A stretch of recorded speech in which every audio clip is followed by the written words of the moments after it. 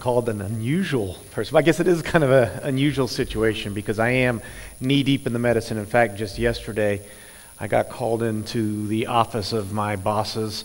Uh, I work for a university, and they told me that I'm spending too much time with the patient, talking too much to the patient, and I need to do what I'm paid to do, which is cut people open. Uh, which, of course, upsets me. We'll talk a little bit more. I'm going to talk more tomorrow about the medical industry and about what's wrong with science. We'll get a little bit more sciencey tomorrow. Uh, today I wanted to talk a little bit about on the nature versus nurture of obesity and how to escape. Though that sounds boring. So let's call it can, okay?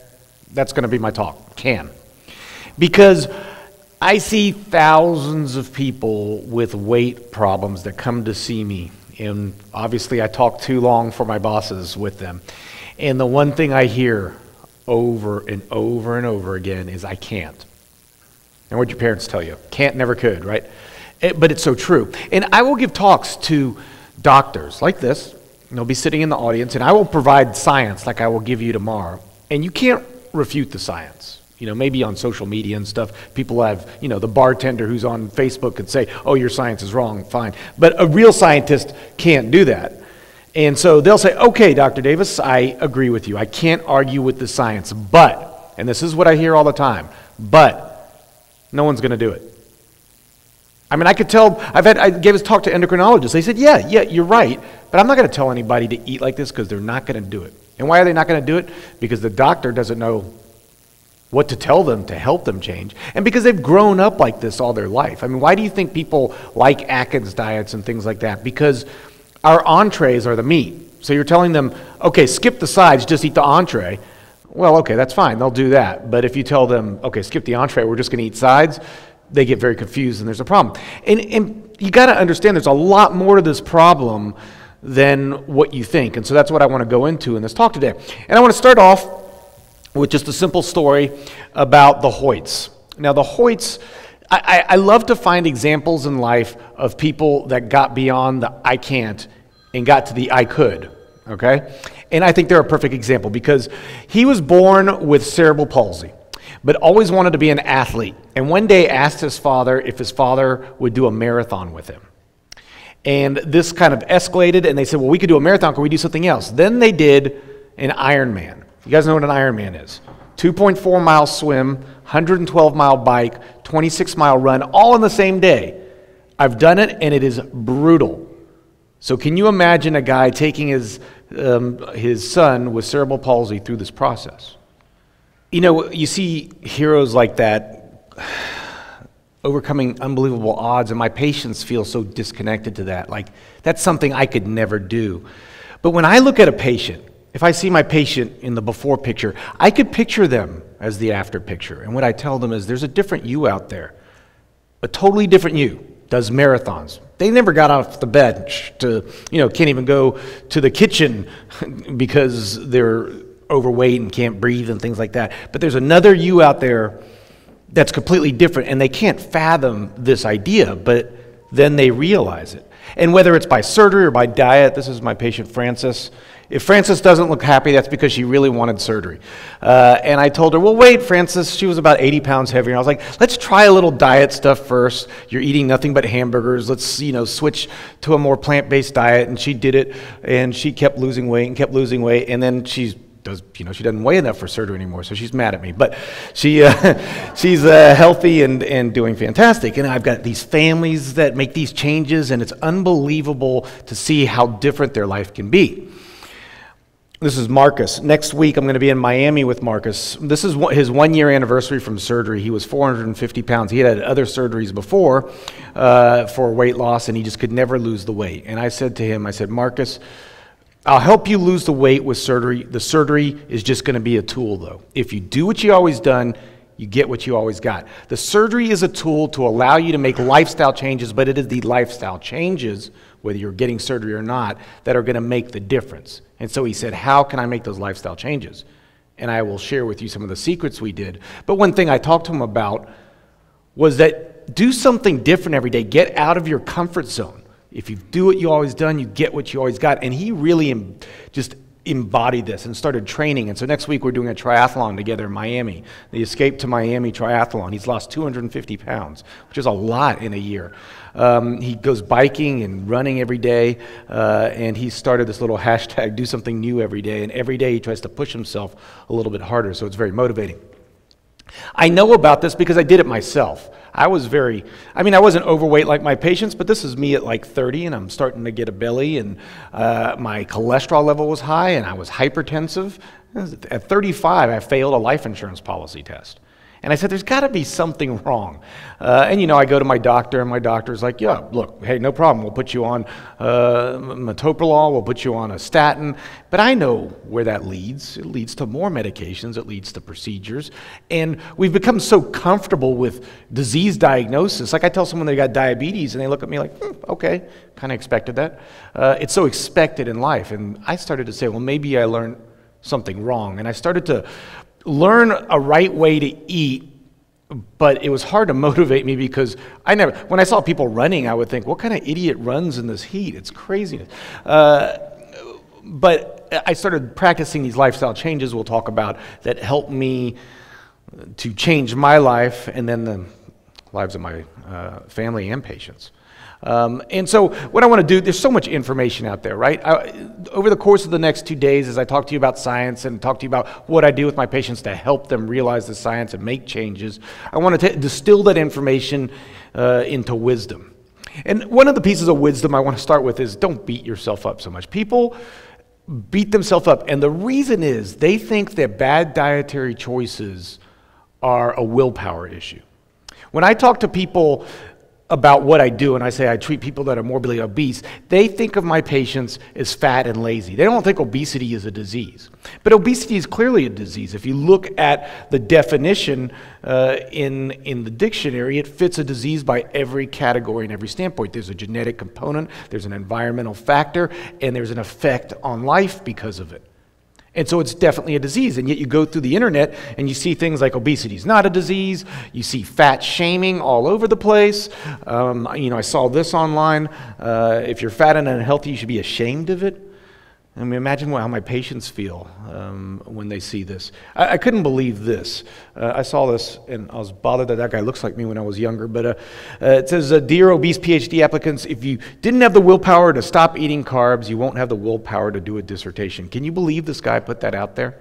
And, uh, you know, first of all, it's not the carbs, we'll get to that. Uh, but second of all, just the idea that, that it's as simple as willpower is ridiculous. That my patients somehow lack willpower. My patients have been dieting way more and struggle way harder than your average person. And so there's a lot of shaming with body types, and it doesn't take into account physiology and it doesn't take account their genetics. My patients, for the most part, are obese from birth. Their whole family's overweight. They go to fat camps at like 10 years old. They're in fat camps. They diet their entire lives. They starve themselves. They try all kinds of different things to lose weight. And you got to, I think this cartoon is true. If shame motivated weight loss, I would be out of a job uh, because my patients are shamed like crazy, and yet it doesn't seem to work because shame is not the answer. It's especially not the answer because we've got the wrong way of looking at at this disease process. And there was an article in Lancet, and they came up with this conclusion. We need to change the way we think and talk about obesity and use language reflective of the fact that being morbidly obese is a chronic disease, like addictions to drug and alcohol. Patients can overcome it, but it shouldn't be expected to be quote unquote cured. And fewer individuals uh, ever truly recover from obesity, rather, they suffer from obesity in remission. Uh, they are biologically very different from individuals of the same age, sex, body weight. There will be a patient who is extremely overweight. They've got friends that are extremely underweight, and yet they're eating the same things. They're going out to eat at the same places. And that friend probably thinks of the overweight friend, oh my, they just need to eat like me, but they're not eating healthy. You know, I hear doctors tell me, oh, they just need to eat like us. They go to the doctor's lounge, you know, and eat bacon and eggs and uh, cakes.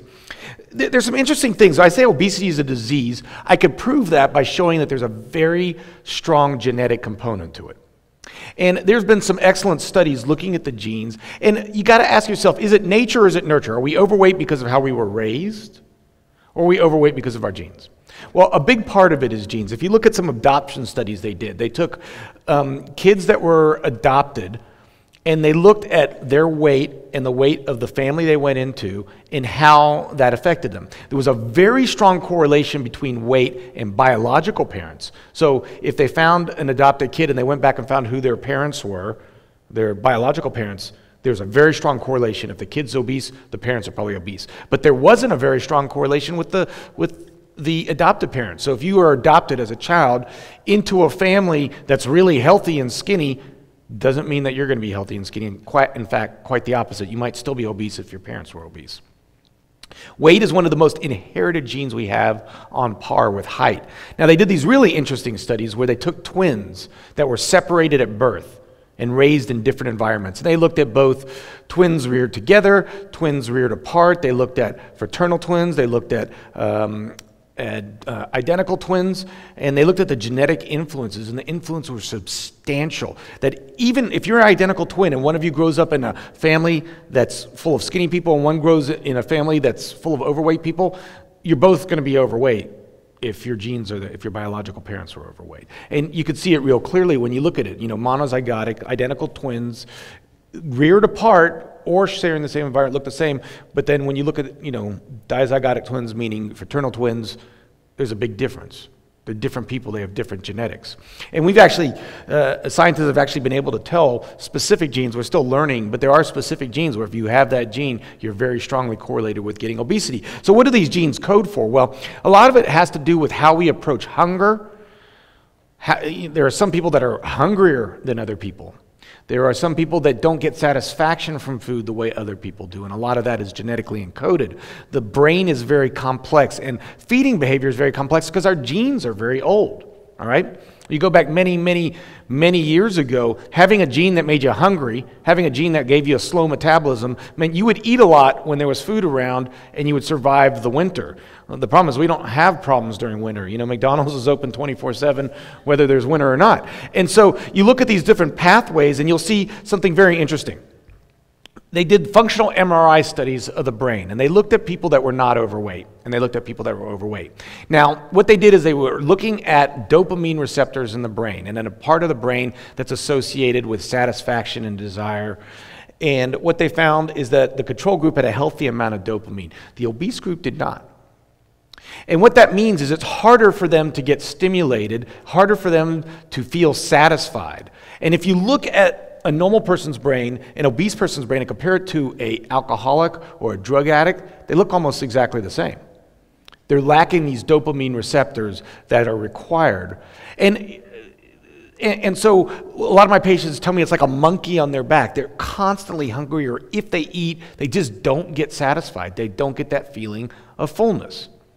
Hunger is not nearly as simple as we think it is. We always, if hunger and obesity is all about choice and willpower, then it should all be centered in the brain up here at the very top, at the cerebrum. But it's not. A lot of it is uh, motivated and driven by parts of the brain that control heart, your heart beating or breathing, you know, very basic parts of human nature. And part of it is controlled, or a lot of it's controlled by hormones that are in the body, by nerve inputs and stretch receptors. There's a lot that goes into the simple desire that, oh, there's a cake, I want to eat it. It's a lot more complex than, than what you think. And part of the way to show that this is a disease is to simply look at the effects if I give someone a drug that affects these dopamine receptors or other receptors, serotonin receptors, things like that. So there's a drug Qsymia, and you could see that um, that on the top line, that's uh, um, a uh, placebo group. It's always interesting to me that placebo does get some result, right? They gave them a sugar pill and they actually lost weight. Uh, but then the more medication you get them, the more weight they lose. Something's got to be going on. They're not doing anything else with these people but give them a pill. We could do that with the norepi receptors. We could do it with the serotonin receptors. There's a drug out there called Belviq, and you could see the same thing. Or there's a, you know, I guess they, I don't, I always wonder how scientists come up with these ideas, but uh, I guess they must have been looking at people smoking pot and thought these guys like to eat when they smoke pot. So uh, what if we go to the THC receptor and let's block the marijuana receptor and let's see what happens?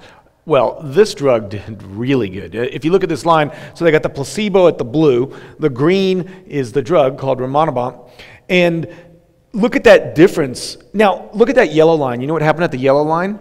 Uh, after 60 weeks, they started giving some people placebo. They didn't tell them they were getting placebo, and that weight came right back up. All right, there's something physiologic going on. That's not a willpower thing right there. There is something physiologic. Now, the problem with Rimonabant is while it does take away your desire to eat, it also takes away your desire to live. Uh, and some people were trying to kill themselves, so the drug will not be released to the public.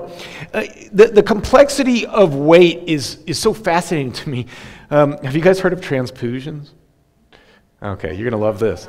Uh, so it's, it's the idea that, that, that we're getting now that you could take bacteria from one person and give it to another, mainly from the colon, uh, and it could change their physiology. Now, this came out because there's a bacteria that grows in the colon that has become antibiotic resistant, and that's called C. diff.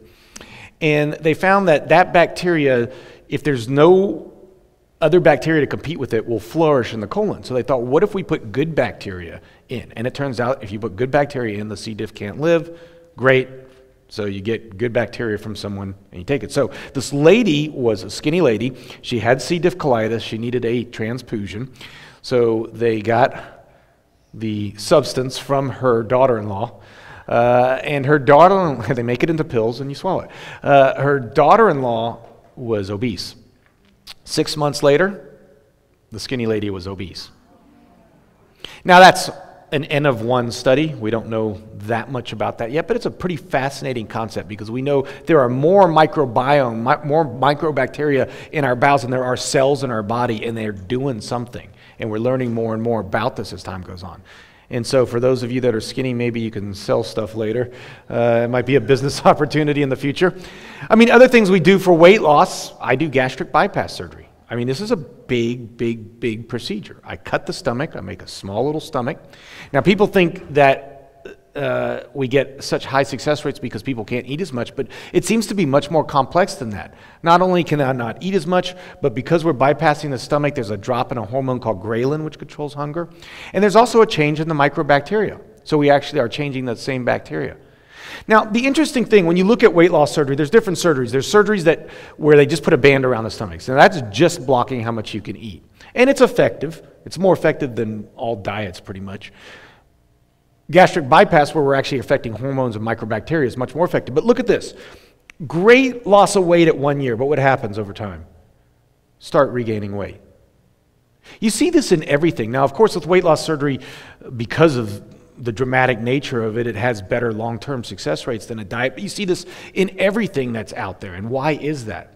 Well, it goes back to this idea, to this gene, we call it the thrifty gene, that our bodies are made to survive to hold on to the, the, the fat uh, the body thinks is actually protective. It's going to protect us against a famine.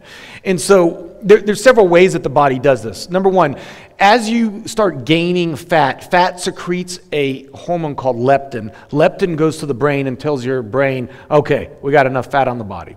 But if people keep putting leptin into their body because they're getting fatter and fatter, the leptin stops working on the brain.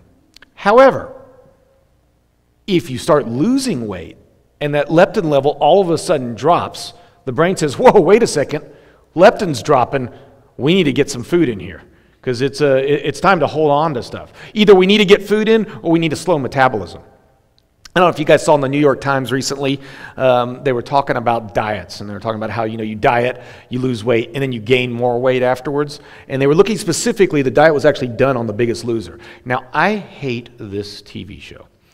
I, I cannot stand the biggest loser. They sit there yelling at, at people that are overweight. They humiliate them by going on scales, which for an overweight person is their biggest fear, is the scale. They make them do these crazy diets, and these people lose a dramatic amount of weight, which is great for TV, but as soon as the cameras are off, the weight comes back.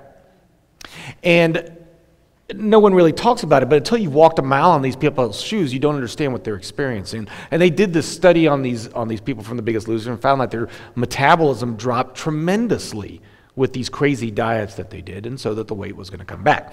Now, I've made a very strong case that obesity is a disease, and I've made a very strong case that there's a genetic component to it. But we're getting bigger. We're getting bigger, bigger very quickly. 66% of the country is overweight, 30% is obese, 33% and, and, and growing. And our genes aren't changing, so there's got to be something else going on, right? So maybe we are partly to blame for the situation. Um, it, it, might, it can't all be the genetics. And uh, what basically happens is you take this thrifty gene and you add something to it. You add the idea that there's a gene that's supposed to make us eat a lot and hold on to that way, and then we just get really high calorie, calorie dense, fat food, and we're inactive. And so we have, it, with diseases, a two hit hypothesis. So for melanoma, you have to have a gene that predisposes you to melanoma. You go in the sun, it activates the gene. Here we have a gene that predisposes you to obesity. We've got food that is made to fit your addiction that is very high calorie density and we're getting lazier and lazier so you know we don't uh, cavemen may have had this gene and they may not have been overweight because cavemen didn't eat that much they couldn't eat that much there wasn't a grocery store to go and do it. And they were running around like crazy, but we're kind of like, yeah, let's just do it tomorrow. Uh, and, uh, you know, I love this picture here. People taking the escalator to the 24 hour fitness is just a classic example of what we deal with. But more fundamentally, look at the way we eat. Like, and you know, you guys know that I'm going to go crazy about protein, right, tomorrow. But it, the thing that's crazy to me is like, like we have some kind of protein deficiency in this country. Is the most ridiculous concept. Look at the way we eat. Okay, if you look at the different things. So this is from the NHANES data. If it's to the left, that's the percentage of people that are eating enough of it to the right is the percentage of people not eating enough of it. So look at beans and peas. I mean, we're hardly getting nearly enough beans and peas. When you look at legumes, they're one of the best indicators of a society's ability to live long term. So long lived societies eat lots of beans. Long lived societies eat a lot of vegetables. But look at our vegetable intake. It's absolutely horrible. Now, look at our empty calories and junk food. Yeah, we don't lack in that. And we don't lack when it comes to refined grains. So we love refined grains. We hate whole grains. Don't give us whole grains, but take off all the fiber and good stuff and give us the junk grains, you know? We don't do well with fruit because everybody's like, oh my gosh, fruit. We'll get on that tomorrow. Uh, but we do obviously eat enough meat, poultry, and eggs, uh, plenty. And I would even argue that their level of what we should eat is wrong. And so if you look at the diet over the past 30 to 40 years, there, there's a lot of reasons we're getting overweight, but the biggest reason is we're eating more. We're eating more of everything except fruits and vegetables, but we're eating more and more. So look at the calories. If you look at it, um, you know, people have been told to eat less meat and less fat for many years, but we never ate. I hate it when people said, oh, low fat diet failed. We never went on a low fat diet. We eat 67% more fat than we ever did. We eat more sugar, we eat 41% more meat, we eat 25% more calories, we eat out more than we've ever eaten out before. And so this is a big part of the problem. When you look at our diet, 7% of it's from fruits and vegetables. And I don't even think it's 7% because part of that 7% includes potatoes for french fries. Uh, and so, you know, really our refined and processed food and, and dairy and animal food takes up the vast majority of what we eat, which has made us the most overweight and sickest country in the world.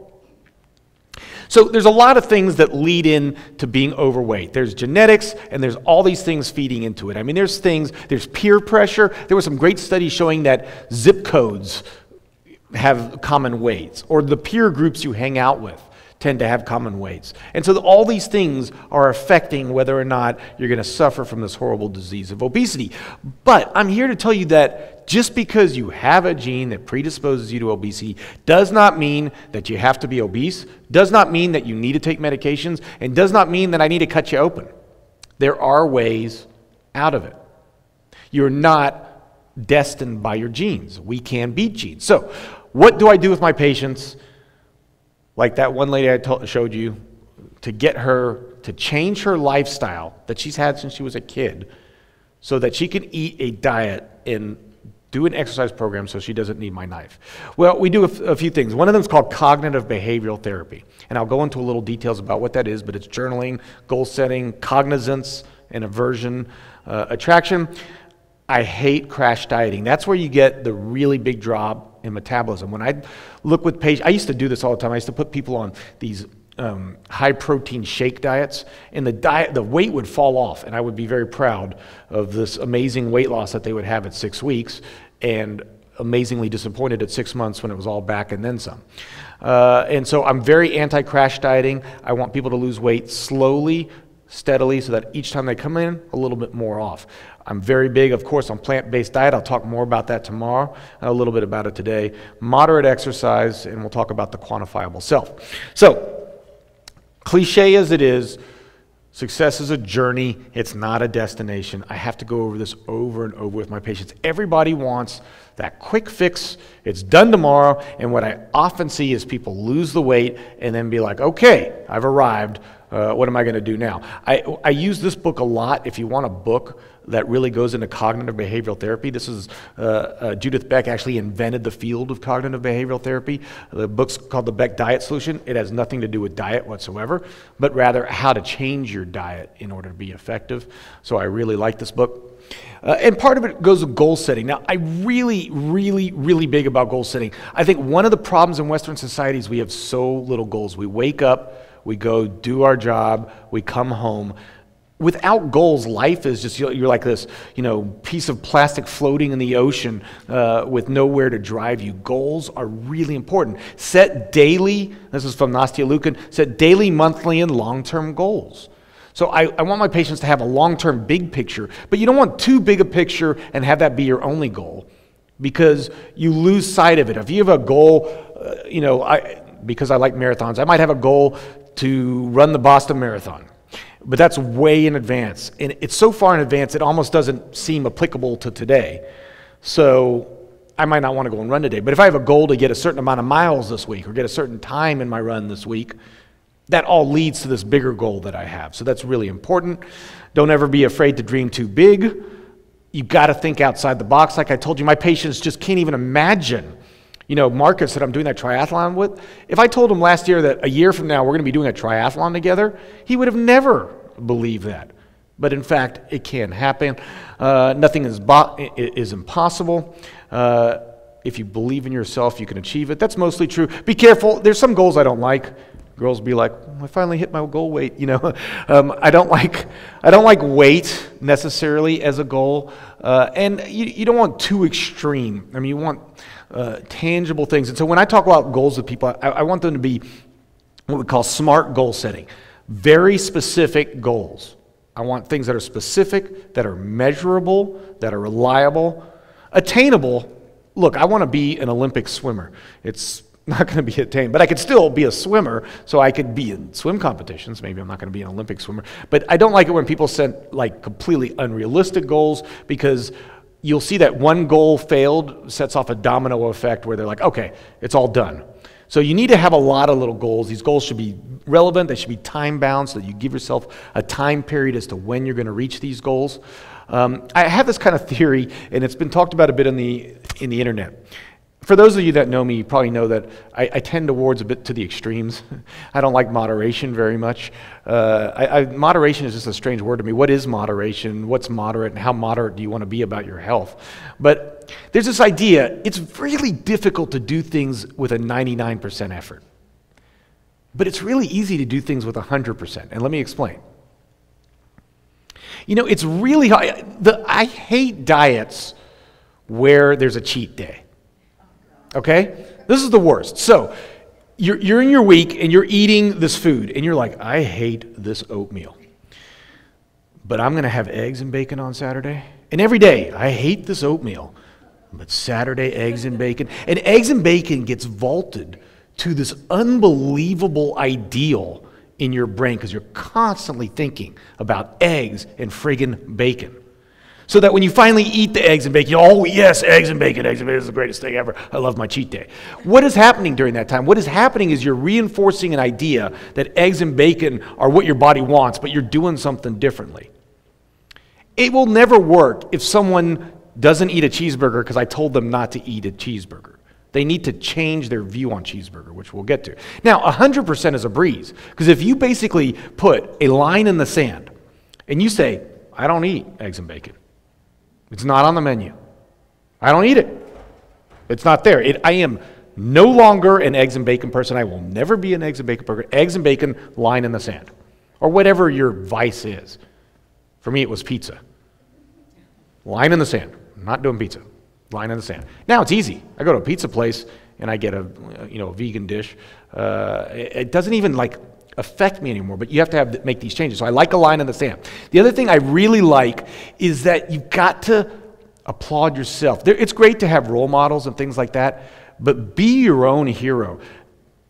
Notice your improvements. Notice your achievements. Like Marcus every day will tell me, Today I did this. I've never done that before. I've never achieved this.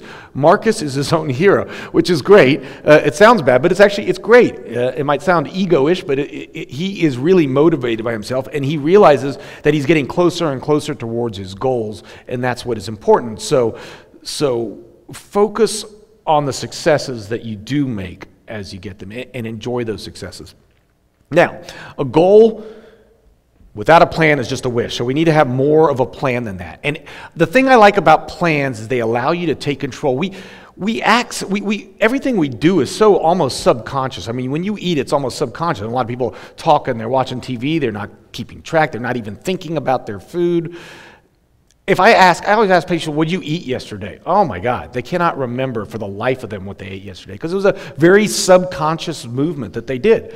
So, one of the first things that I love to do with patients is to start a food journal. They hate it in the beginning. Everybody hates doing food journals. But there's been studies that show that a food journal by itself, without me telling you what to eat or anything, if I just tell you to journal your food, you will lose weight better than a group that I tell them what to eat, but they don't journal. Journaling is very important because journaling makes you very cognizant. And what I have my patients do is pencil in the night before what they're going to eat the next day. Never, ever, ever make a game time decision about food. If you're sitting around, goalless as most people are, it's lunchtime, and you're wondering what's for lunch, and someone brings in a pizza, a pizza's for lunch. All right? But if you've got goals, and the night before you write down, I'm having a salad, I'm going to the salad bar tomorrow, and I'm having a salad and lunchtime comes around and someone brings in a pizza, you're like, I got goals. I've got it in my book. I don't want to go and write down that I had pizza next to where I put salad. This is a very effective way of doing what's called cognitive behavioral therapy or rewiring the brain. And so I'm very big on, on patients keeping track of what they're eating, when they're eating. I like them to use hunger scales too. Because we have to assess how hungry are you really? There's hunger and then there's hunger. There's physiologic hunger, that seems to come more from the belly and you feel it and the grumbling. And then there's emotional eating and stress eating. And so I like the patients to be very thorough about are you hungry before you eat? Are you hungry when you leave the table? We, you, you hear about, and we, you've all those done, right? You've left the table and you've been like, oh my God, I feel like I'm going to vomit. And you feel terrible, right? I've got to lie down. You think about Thanksgiving, everybody on their couch looking like hell. Why do we do that to ourselves? And then we forget about it. By the next Thanksgiving, you're ready for another huge, disgusting meal. And so the more you can remember how bad that is, the less you want it. Whereas the more you remember how great you feel after a meal, the, the more you want to stop it. In, in Okinawa, they actually have a, uh, a saying called hara hachi bu. It's, it's actually in their culture to try to push away from the plate when you're 80% full. This is in their mindset. Eat till you're 80% full. We're eat till you clean the plate. Uh, and and so you could really change that by becoming more cognizant of how hungry you are. How many meals do you need to eat a day? You know, it doesn't really seem to matter. There, there, there, was a study called the National Weight Control Registry. So what they did is they got people that were actually successful, because 98% of diets fail. But what about those 2%? What are they doing different that allows them to be successful? And what they found in the National Weight Control Registry is that everybody ate breakfast. Breakfast was a big thing. Fruits and vegetables were a big thing. Moderate exercise was a big thing. We'll get to those.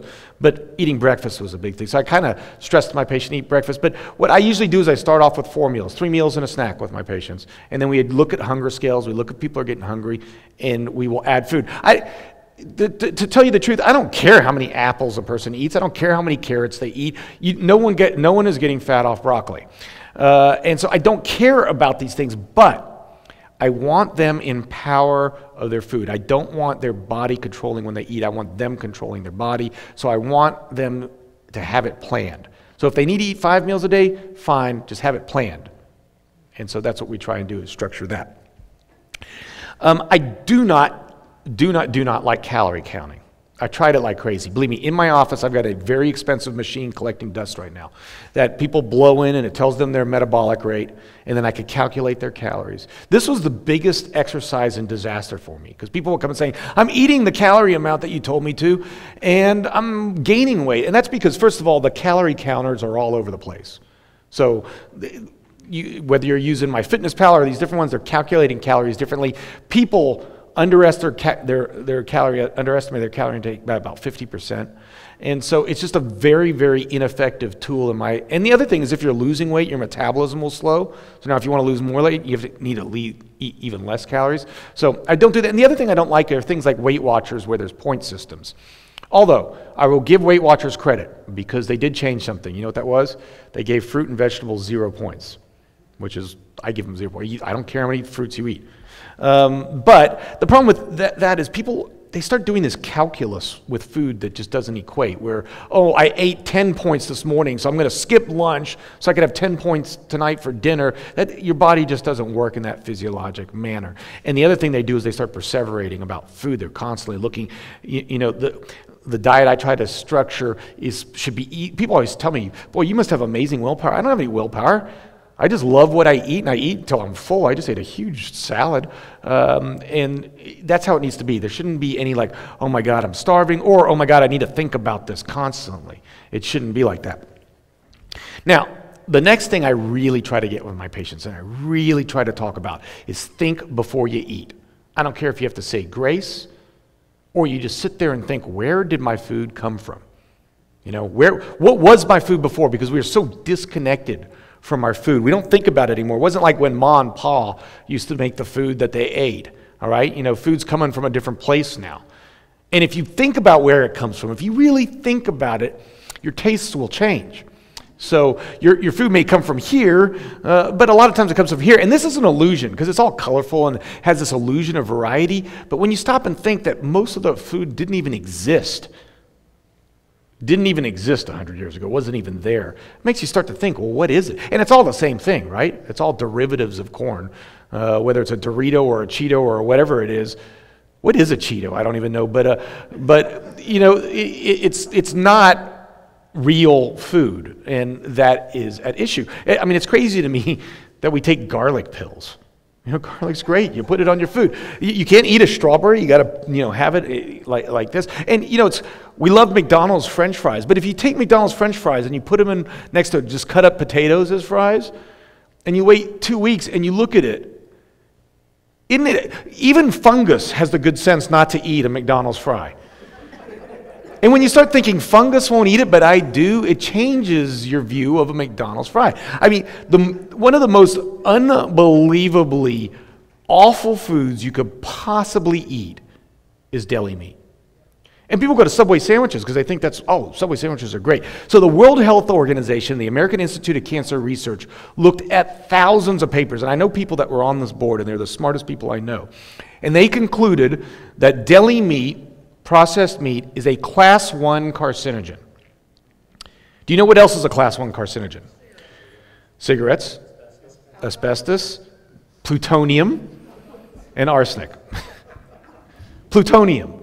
Plutonium or ham. And the other thing is that it's packaged so it's packaged so like like neat and like it, look at this like a, this square little piece that's going to fit perfectly on your sandwich. But and it doesn't give you a moment to sit and think what it really is. I mean if it was packaged like this people would think differently right? You would wait, wait a second do i really want that ham sandwich?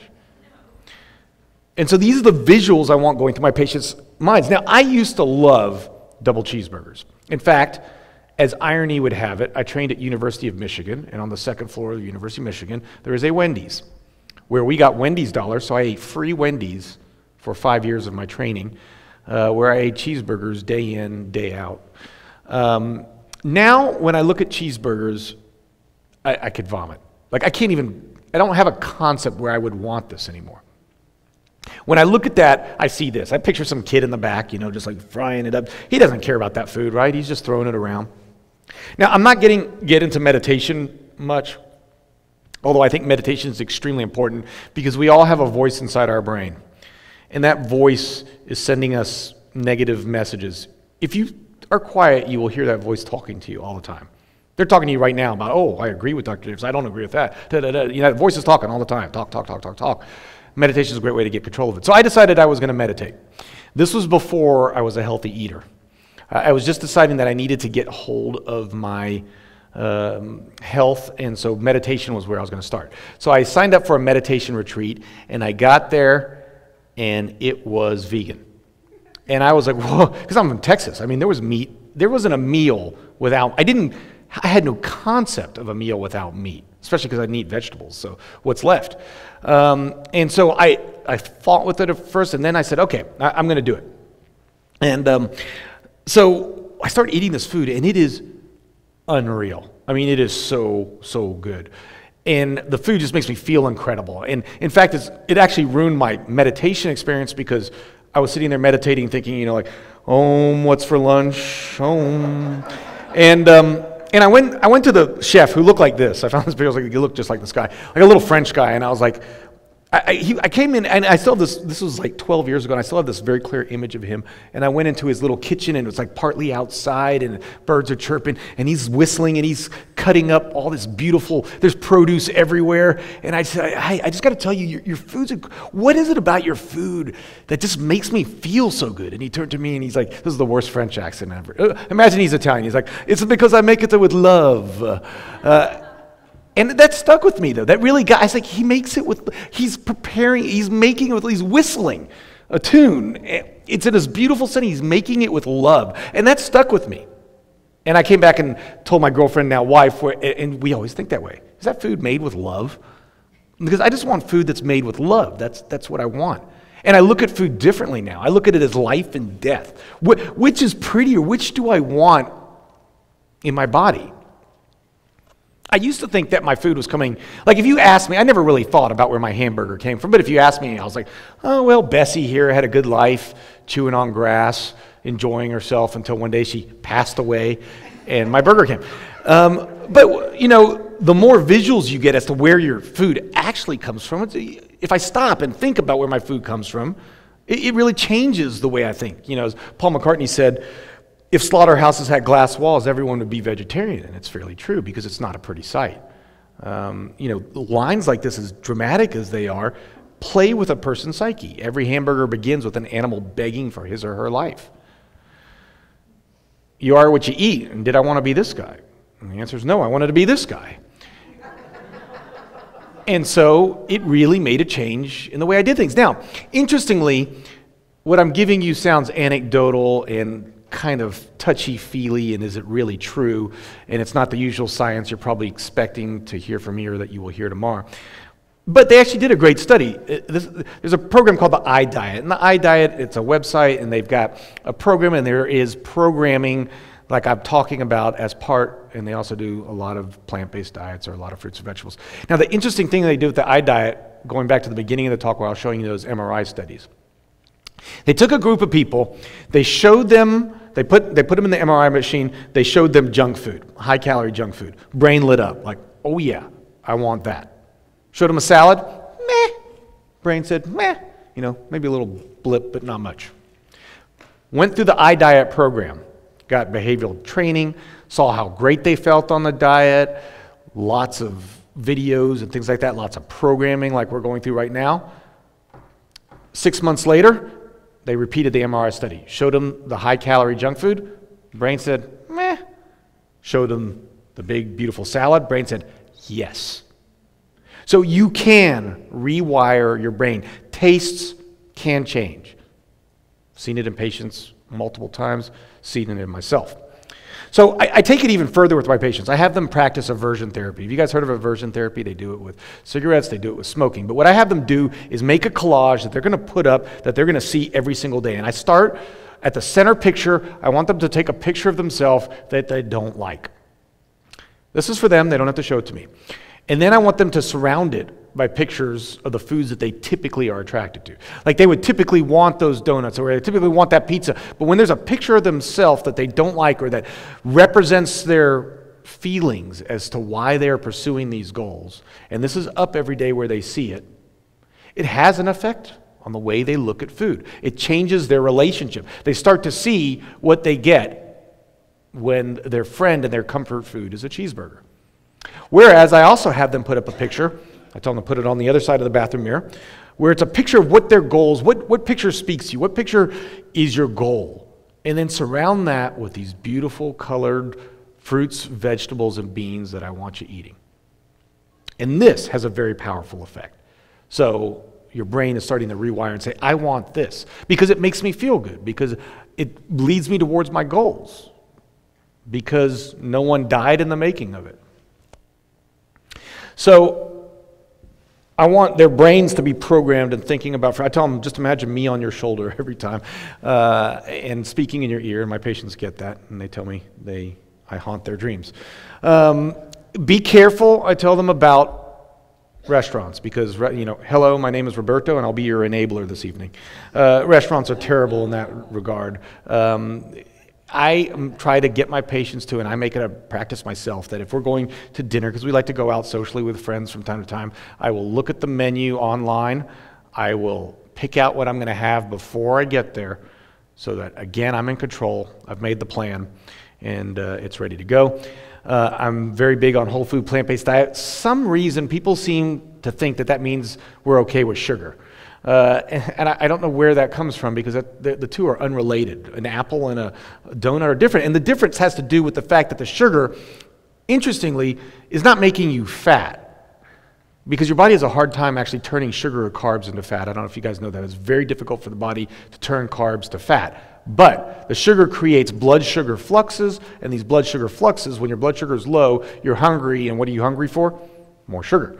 And so we kind of get trapped in this uh, I like to experiment with uh, humans. They appear to be intelligent, but display an irresistible attraction to sugar. Um, but you know, the truth about carbs is carbs are not making us fat. It, it, it's so wrong. It, in order for a carb to be turned to fat, it's called de novo lipogenesis, and your body doesn't want to do it and will fight. It wants to store the carbs as glycogen or use it as energy. And so this guy, um, Mark Haub, is a professor of nutrition in Kansas State, and he went on the Twinkie diet. You guys hear about his Twinkie diet? He ate nothing but those junk foods that are there, the Twinkies and all that kind of stuff. Nothing but junk food, but he kept his calorie count low. Uh, he did all the metabolic testing and, and calculated it very accurately and weighed everything, and he lost 30 pounds. Um, and so it's not the carbs, it was just the general pattern of eating, and his cholesterol level dropped. This, that's not to say go on a Twinkie diet, okay? That's not my advice. It's not good for your long term health. Uh, there's people out there with this, especially in the exercise world, with this, if it fits your macros. Like if you have a certain amount of protein and a certain amount of fat, certain amount of carbs, doesn't matter what you eat. I mean, lunacy. Uh, I was at an American Society of Bariatric Medicine meeting. I'll talk about it tomorrow. But look at the diet they're recommending their patients eggs and bacon, olive, uh, steak, blue cheese. Um, and, and, people don't even think about food anymore as food. They think about it as their component parts. You know, all they see are like calories or fat, or is that a protein or is it a carb? It's it's just absolutely ridiculous. Meanwhile, in the blue zones where people have the longest, healthiest life, no one's counting carbs. They're not walking around Okinawa thinking, I wonder how much fat is in that yam that's over there. Uh, and, their, and their weight is so much lower than ours, than ours and drops over a lifetime, whereas ours goes up over a lifetime.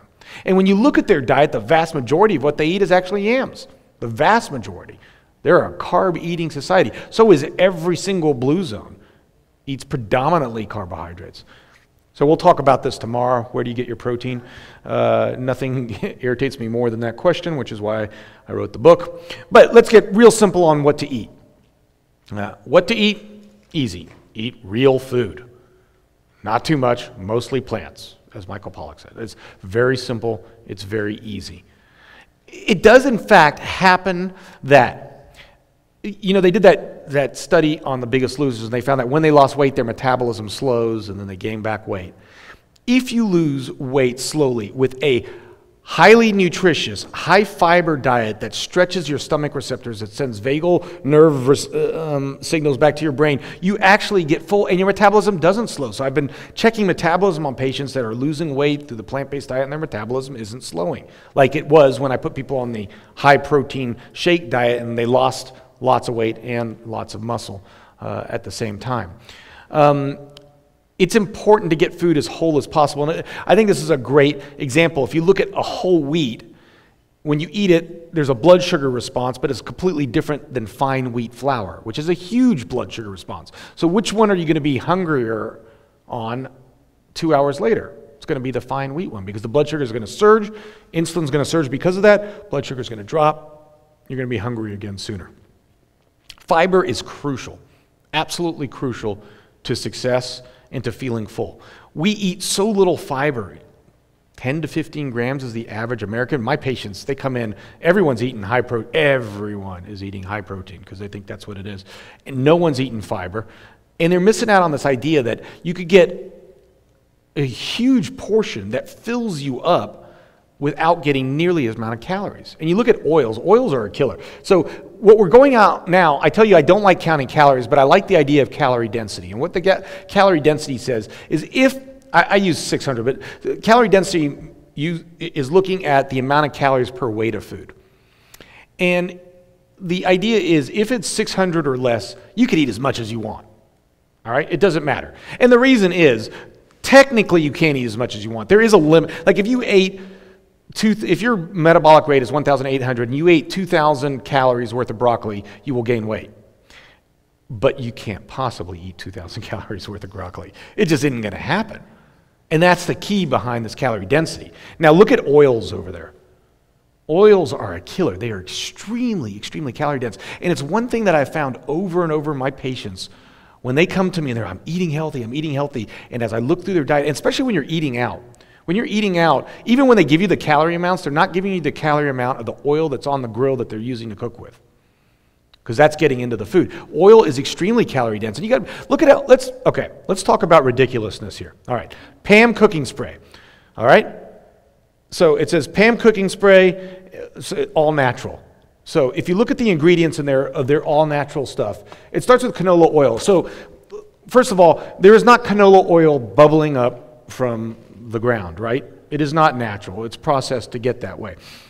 Um, I also have never seen propellant naturally in its natural, I don't, you know, there's propellant. Um, okay, so there are zero calories in Pam cooking spray and there's zero grams of fat. But it's an oil. So, how is there zero calories and zero grams of fat? Can anybody tell me? Okay, so what's the serving size? The servings, you can't see the serving size up there? It says one third of a second of a spray. One third of a second of a spray. So I don't, I don't know how you measure one third of a second. Uh, you'd have to, I could just imagine like the one person's got to stop. uh, okay. Uh, but that's not what people do, right? They take that pan, they're like, oh, this is zero calories. I don't know why I'm getting overweight. And people, the funny thing is that people are so scared. Like people come into me and I'm looking at their diet log and it's just like, you know, cheeseburger and, and bacon. And, and, it's just, un, I'm like looking, I'm like, oh my God, this diet's horrible. I said, well, let's try something different. Like for lunch, let's have a potato. Potato? Well, isn't that bad for you? I'm like, oh yeah, the potato's bad for you.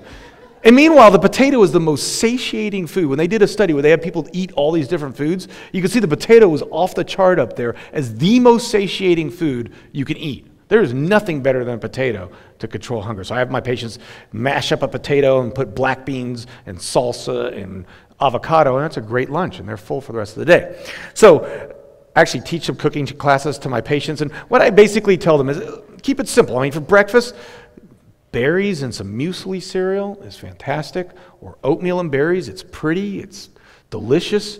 Salad with soups for lunch. Always get some beans in there. Beans are actually have a really good effect at controlling blood sugars over a lot of time. We have vegetable chilies for dinner that are really great, or I make whole grain pastas. I say I make. My wife would kill me if she heard me say that.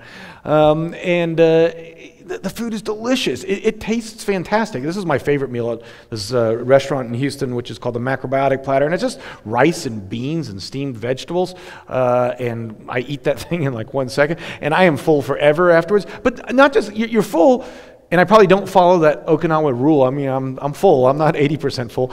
Uh, because it was so, good. but I don't feel bad. I don't feel weak and tired. I don't have that two o'clock after lunch, you know, oh my God, I feel, I feel unreal energy for a 46 year old guy. Uh, I feel like I could, you know, climb mountains. Um, and the way I look at food is differently. I can't believe what I used to eat. It was so ugly. And now it's just so beautiful and so delicious. And these are the visuals I really try to stress to my patients because it's the visuals that are so important.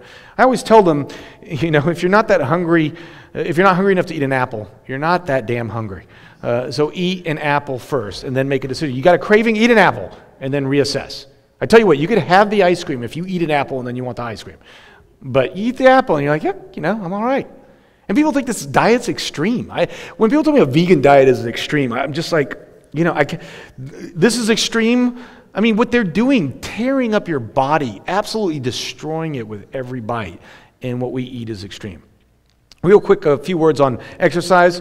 You know, what fits your busy schedule better, exercising one hour a day or being dead 24 hours a day? I have to have these discussions with people because people are constant. I can't. I don't have time. I can't. I can't. I can't. I hear the word I can't over and over again. So I can't, you know, I, I say to people, this is my workout algorithm. Should I work out today? Yes. Then work out. No. Yes, you should. Go and work out. Uh, and, but, we have to have a correct concept of working out because it doesn't they, they, don't have to be crazy like me i like the i like exercise because I could set tangible goals like we talked about before and I could see results. But you don't have to go crazy with it. To be healthy, you don't have to go crazy. What is the best exercise to lose weight? You know what the best exercise to lose weight is? It's actually the exercise that you will do. All right? So if you will swim, then that is the best exercise. If you do Zumba, then that is the best exercise. If you go for a walk, then that is the best exercise. You just have to move. And the funny thing about exercise is that it's probably not even the exercise that's important, it's the NEAT. Have you guys heard of the NEAT? Non exercise activity thermogenesis, which is a fancy doctor word for saying movement. It is the movement you do in a day. So they've done great studies where they have desk workers, like people that just sit at a desk all day, and then they go and you know work out like crazy, do CrossFit or whatever. They're not getting the same benefit as someone who's actually getting 10,000 steps a day. So I actually love, love, love, love Fitbits and step counters and things like that. Absolutely require my patients to use it. Constantly asking them how many steps they get a day. I like it for several reasons. It's biofeedback, right? It tells you how many steps you're getting. You've got an easy Set, goal. what do we say about goals? They should be smart, tangible, achievable, measurable. You could do that with the step counters. I want them getting eight to 10,000 steps. I don't care how you get it. Park further away. Take the stairs. Um, after a while, your body starts to understand what you need to do in order to get those, those, um, those numbers. And they don't start at 10,000. They start at 5,000 and then you know, go to 6,000, go to 7,000. So we have goals along the way to get to that 10,000 steps. There's a, a, movement called the quantifiable self, which is keeping track of everything, which you think I wouldn't like because I don't like that Weight Watchers keep track of. But I like the idea of being cognizant of what you're doing so that you're no longer subconscious. And I talk about that a lot with my patients, being cognizant about the changes you're making and monitoring to see how you're doing with your goals. Uh, that data is very, very empowering. So, one uh, real quick video left here that I just want to show you, which kind of I think is a great way of talking to yourself um, about how to make changes and motivate yourself. There's a guy talking to himself here. Okay, we're done. Let's take a breather. Gotta keep going. What? It's not the deal. I think we can go on. Since when did you start thinking? Whatever.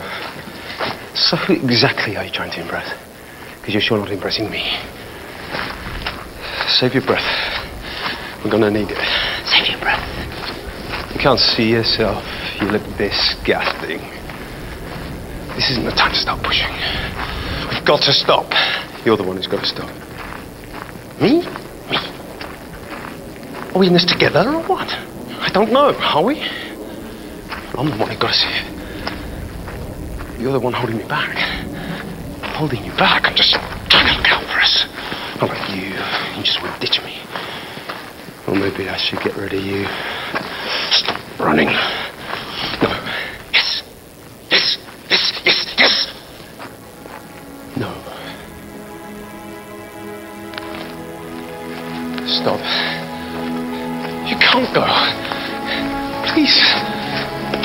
I'm with you.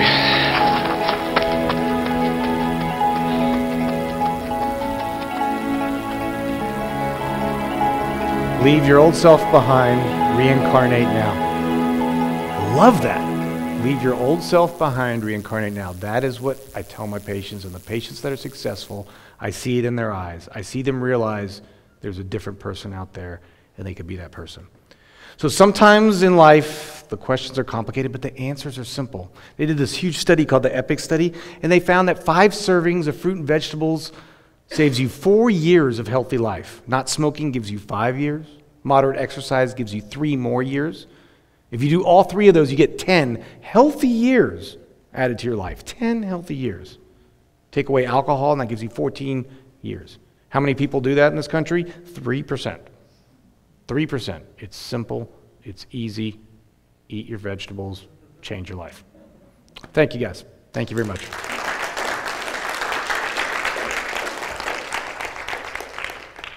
Do we have time? Are we do questions? Oh, okay, sure. You guys got questions? I mean, I'll get to more sciencey, substantive stuff tomorrow, but we could ask those now too. With the fruits and vegetables, um, which B12 would you recommend, if any? Um, yeah, B12. God, why is B12 is like such an issue with it? Like, it's amazing to me. Like, someone online the other day was like, "Do you take B12?" I was like, "Yes." They're like, "Then your diet is completely discounted," which is so funny to me because I see meat eaters come and see me, and they're taking every kind of supplement you could know to mankind. Um, B12 is not made by the human body, not made by animals. Comes from bacteria. In the days where we had food grown in organic soil that we would pick up and eat without cleaning, we got B12. But no one does that anymore. Everything's cleaned and cut and skinned and all that kind of stuff, and so we could get low B12. Funny enough, there was, in the EPIC data study, they looked at vegans that were not very, they were healthy, but they weren't supplementing, they weren't getting enough calcium, they weren't getting enough B12. And they're, because you, if you don't get enough B12, your homocysteine level could go high, and that could be an increased risk of heart disease. So they said, well, vegans are putting themselves at risk for heart disease. Now, when they looked at it, did the vegans have heart disease? No, they had less heart disease than the meat eaters, even though they weren't eating B12. That's not to say don't take B12. Take B12. I, I don't really care. It, it, I, I take 5,000 sublingual, I think I use Nature's Way or Nature's Made. I don't even know what I use. Uh, 5,000, I just pick it up at the store, 5,000 sublingual once a week. It costs nothing. Once a week, 5,000. Um, probably you can get it if you were crazy organic and just eating dirt.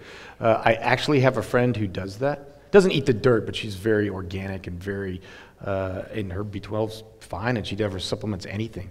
Um, but that's the only supplement I take. That's it, B12. Nothing else. Yes? Um, you talked about transfusion. That was very interesting. And transfusion. Oh, oh, I said it wrong. I'm thinking transfusion. Okay, yeah. sorry. Yeah. but what about um, uh, Dr. Klaper talks about uh, the bacteria that grow that send messages to the brain and that mm-hmm. kind of stuff. Could you expand on that a little bit? Yeah, sure. I mean, there's been um, this look at what we call butyrate producing microbacteria. They produce something called butyrate, which uh, is actually very protective to the lining of the colon and also decreases inflammation. Uh, and may have an effect on obesity. We, do, we don't have the bugs down completely yet from the obesity factor, but it may. Um, they did an interesting study that was published in Nature. And took a group of people, had a lead in diet, then they went vegan, and they looked at their microbacteria, and it was very butyrate producing.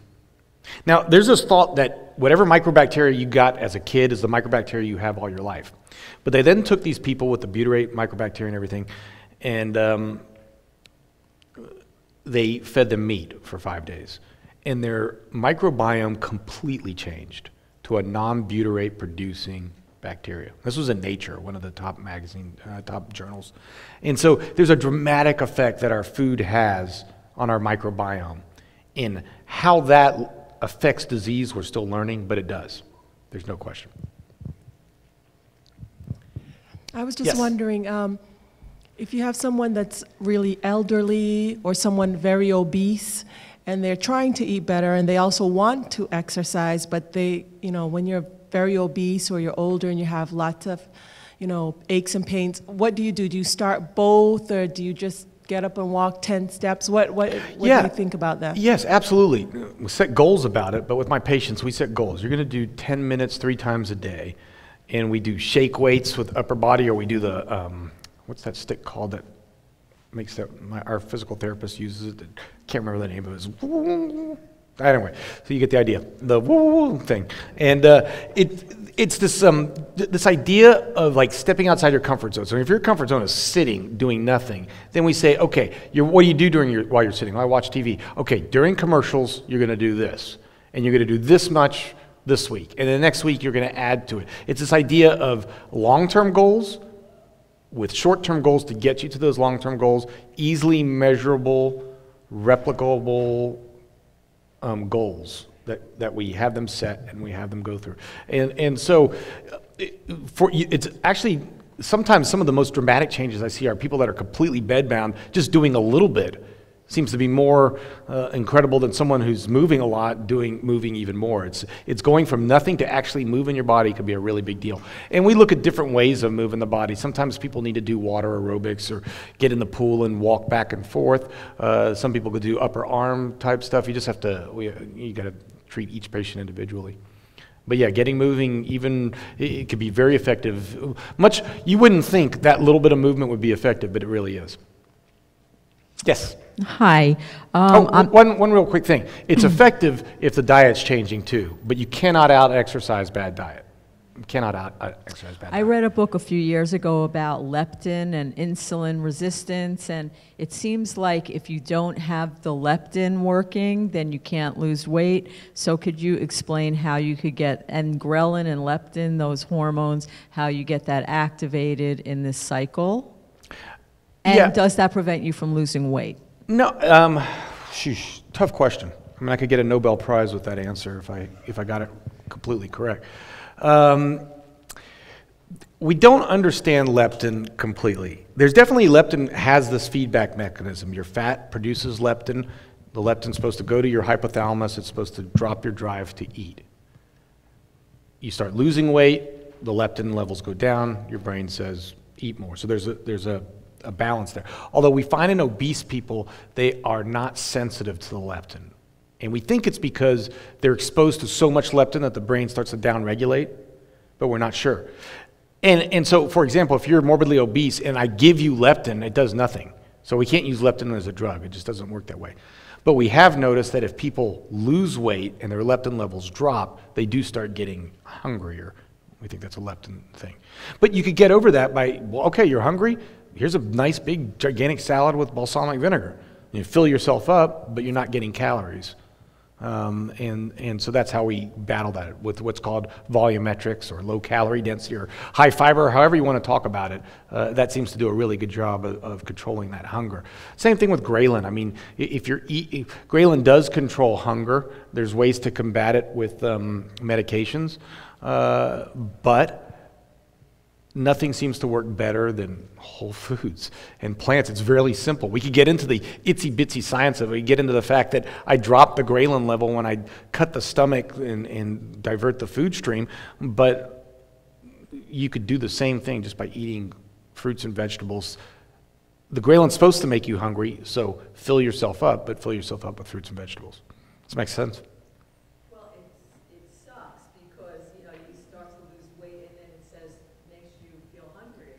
It does, but if you're eating low calorie density food, it doesn't matter. It, it's okay to be hungry, just so long as what you're eating is going to control that hunger. That's what we try to get to. I don't, I, I try to teach my patients to not fear hunger so much.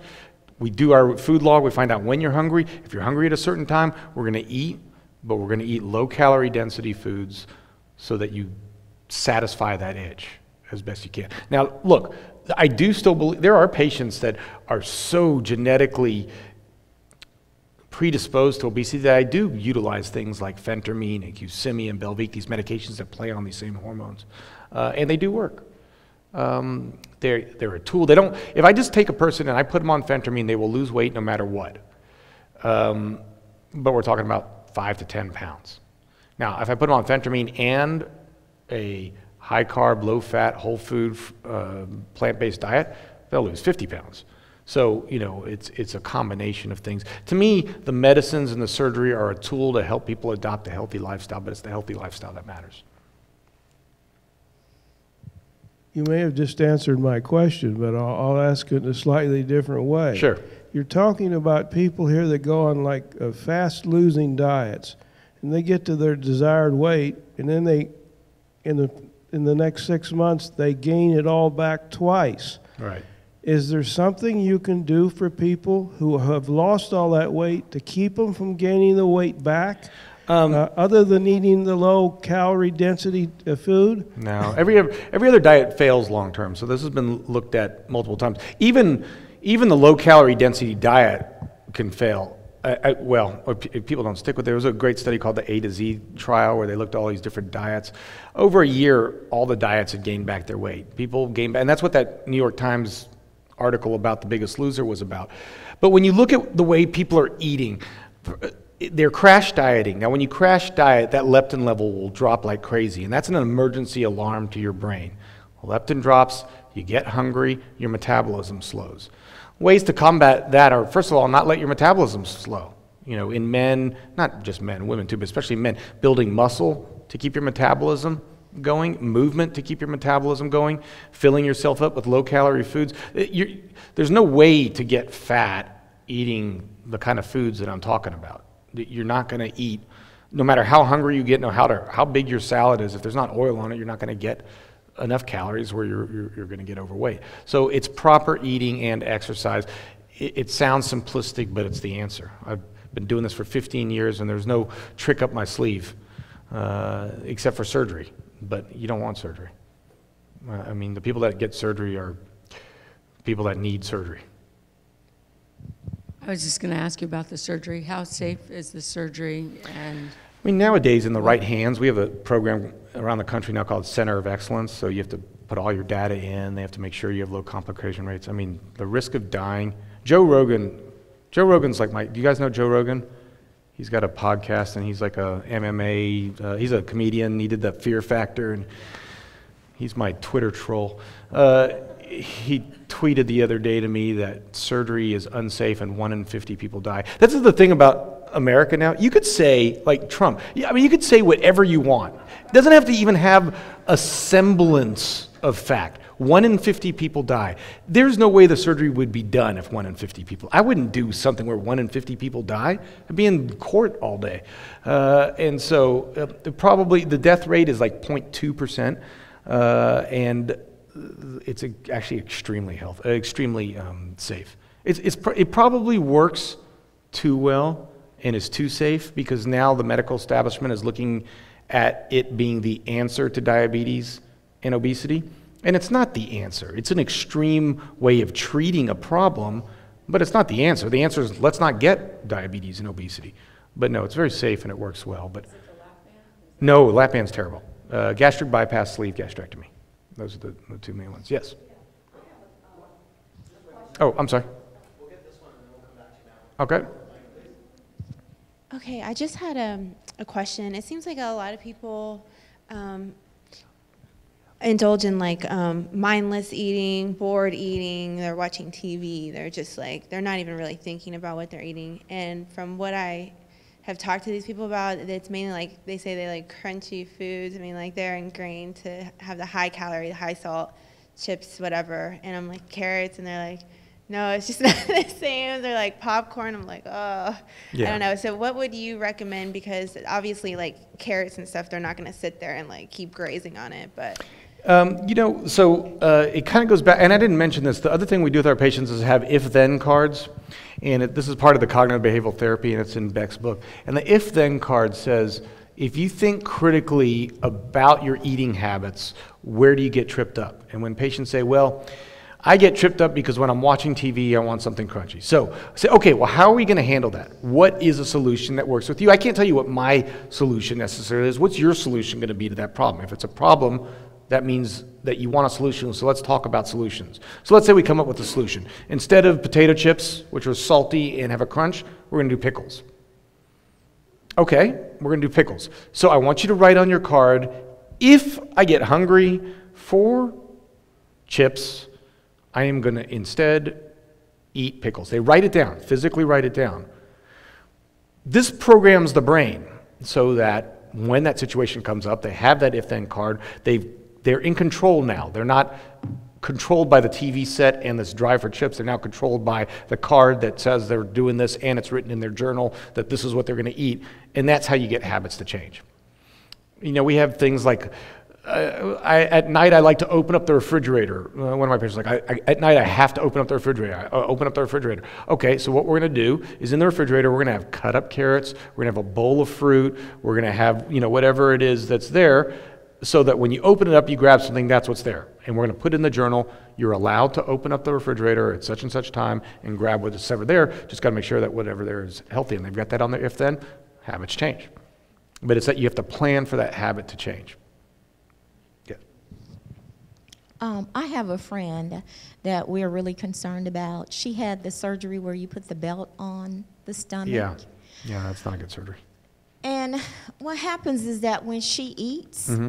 which we, we believe, we know she's overeating, she's regurgitating all the time. Yeah, yeah. And so I'm trying to find out, I just want to know what are the repercussions for, from bringing that acid up in your throat? Oh, it's not good.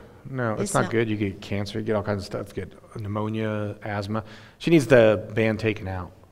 Oh, okay. Yeah, you get the band, We- or you can get it loosened. If she has an adjustable one, you can Okay. loosen. It. So what I usually do when people come in like that, I maximally loosen it, and I tell them that they need to get full with fiber. Because the other thing that happens is bariatric surgeons, like I'll go to a bariatric surgery convention. We have one every week called Obesity Week, uh, every year called Obesity Week, and we will sit there for hours upon hours talking about the research with weight loss surgery, and yet never once mentioned food. Food's not discussed at the obesity conference. It's just not discussed. So, obesity surgeons tell their patients you need to eat protein, protein, protein, protein first. And so they're stuffing their mouths with bacon and eggs and all that kind of stuff. Because that's what their, their doctor tells them eat bacon. Yeah, it's absolutely ridiculous. And then they get bad results. And yeah, and, and it, it, I'm not shocked by their bad results, but their doctor's like, okay, that's a bad result, let's go to another surgery. Uh, and so my thought is, well, before we go to another surgery, let's stop eating that and start eating this and try changing these um, behavioral habits. I have a question. Uh, You framed your book around protein. And Huh? so when people do ask you the inevitable question, where do you get your protein? What's your answer? Can I give it tomorrow?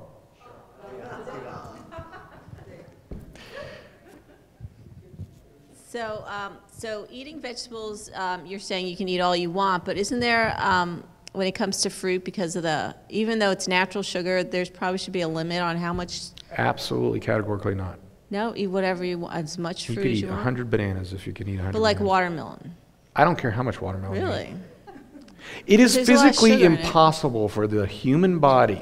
It's not impossible, but nearly impossible. So, de novo lipogenesis is what the process is where the body will take a carbohydrate and convert it to fat. Because the body's primary fuel is going to be carbohydrates. So, what the body wants to do before anything is to take that carbohydrate and store it as glycogen. And it will store, depending on uh, each individual, varies, but it could, it could store up to 1,000 to 1,200 grams of carbohydrates. On top of that, if you, if you were to eat 1,200 grams of carbohydrates, which you're not going to, but if you did, it's still, you would have to eat even more carbohydrates after that for it to start doing de novo lipogenesis. And de novo lipogenesis is an energy intensive, so your body would have to actually burn calories. There is never, not once, not one single study anywhere in the scientific literature, ever in the history of science, shown a single paper that has ever, ever, ever said that fruit causes fat. It doesn't happen. It will never happen. You could eat as much fruit as you want, ever, forever, ever. And anybody who tells you you can't eat fat is a complete idiot. And you could tell them I said that. Oh, sorry. Fruit. Oh, I'm sorry. No, don't eat fat. Fruit. Yeah. Fruit, fruit, fruit, fruit, fruit. Um, I am off salt for a few years Mhm. on the Celtic salt, Himalayan salt, sea salt. Mhm. What's your thoughts on that added to the salads or? dangerous if you have no other source of iodine in your diet. You have to get iodine. Okay. If you're getting uh, Lugol's, that, that has plenty of iodine in it. Okay. So you're supplementing iodine. Otherwise, it's fine. I, you know, salt is not, you know, it depends on who you are and your genetics and do you have essential hypertension. I mean, if you're truly hypertensive, salt's not a good thing. But it, salt is not the whole story. Just like anything's not the whole story. Calcium is not the whole story with osteoporosis. There's lots of other electrolytes. The problem is not the salt all by itself, it's the imbalance of salt to magnesium and potassium and all that kind of stuff. So if you're on a varied plant-based diet, then you can tolerate salt very well. But if you're not, then you can't. Uh, if you're eating junk food, same with carbs if you're diabetic or insulin resistant. Insulin resistance is not caused by carbohydrates. It's actually caused by fat getting into muscle cells, making your muscle cells insulin resistant. And if you're eating a high fat diet and it, fat is getting in your muscle cells and you're insulin resistant and you eat carbs, it will make your blood sugar go up, even if it's fruit. So now fruit all of a sudden isn't good for you any, well, it's still good for you, but, but if you're eating fat, it's not, not being processed properly. Uh, and so the story, the same thing is if you're eating a healthy diet, it's okay. If you're not eating a healthy diet, it could be a problem. Okay, one more question. Yes. Uh, I'm, I am confused about something. I'm not a proponent of the keto diet, but I have seen many people, they say they use the keto diet and they've lost weight and kept it off and they're really happy. They've lost large amounts of weight and they're eating 90% fat, 5% carbs, 5% protein. And uh, so, is there a placebo effect because they're so happy that it doesn't no, matter? No, they uh, you, you legitimately lose weight on it, but always because your calorie counts decrease. So what happens is, well, a few things happen. When you go into ketosis, you get rid of all your glycogen stores. So I just told you there's a thousand whatever grams of glycogen stored in your body. Glycogen is stored with water. So when you burn up glycogen, you burn up water. So a lot of the weight that's lost in the beginning is water weight. Also, when you don't have glycogen and no more carbs for fuel, which is your primary fuel, your body makes these ketones for fuel. Ketones are induced diuresis, so you lose even more water because of that. Um, now, the ketones make you not as hungry, so people tend to drop their calorie intake, so they don't eat as much. So every study that's been done that has shown beneficial weight loss with the keto diet has shown that they, um, the calorie count decreases. It doesn't matter, just like that Twinkie diet I showed you. It doesn't matter what you're eating. If you're eating a low calorie diet uh, or lower calorie diet, you're going to lose weight. That's how they lose weight. Sad thing is, they seem to always put it back on. Um, the A to Z diet was the, the best controlled trial uh, where everybody put back on the weight, and the Ornish diet was in there, although people weren't eating an Ornish diet at all. Um, but they were eating an Atkins diet. They actually were fairly compliant with the Atkins diet. And they lost a lot of weight at six months and they put it all back by a year. Part of the reason for that is that eventually that joy goes away. Uh, and they start craving, craving, craving carbs, which usually leads to bad carbs, not good carb consumption. I, I, I feel that the paleo diet is a little bit better uh, it, it is still Atkins, but it's Atkins improved because there's no dairy. They don't have any, they're very anti junk food. They're eating lots of vegetables and fruits.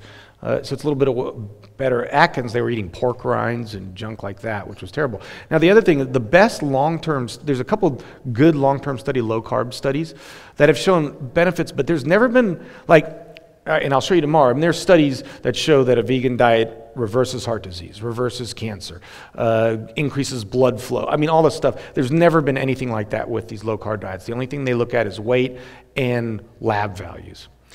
And there's a great sweeping under the rug. So, one of the best studies ever with low carb, they wanted to show that a low carb, if you ate a low carb diet, your metabolism would do better. And it barely did better, like a real small amount better. So they published in New England Journal of Medicine, and this is the greatest article. Now, when I read journals, I never read the conclusions anymore because the authors, that's the author's bias, is in that conclusion. You go and read the actual study methods and results. Their C reactive proteins through the roof, so they were extremely inflamed. And I see this a lot in low carb people. And I saw it a lot when I used to do low carb on people, is you get really bad inflammation the cortisol in their urine was really high, which means that their body's under a stress response because this is a starvation stress response. And there is there, there was several good studies that show that you're actually decreasing flow to the heart. So while your LDL cholesterol and some people, if they're fat adapted, could get better, their heart has decreased flow to it. Um, and people say, well, it's great for diabetes. It's not great for diabetes. It lowers your blood sugar because you're not eating any sugar, but you're eating fat. So when they did studies on people on this diet, there's still fat in their muscle cells. So if you give them sugar, it goes right through the roof again. So they actually have diabetes. Whereas if you take someone and put them on a low fat, whole food diet, the fat goes out of their cells. You give them sugar, it doesn't go up. So you're actually curing diabetes. So it doesn't cure diabetes, it puts it on the back burner. All right, thank you guys. I'll see you tomorrow, I guess.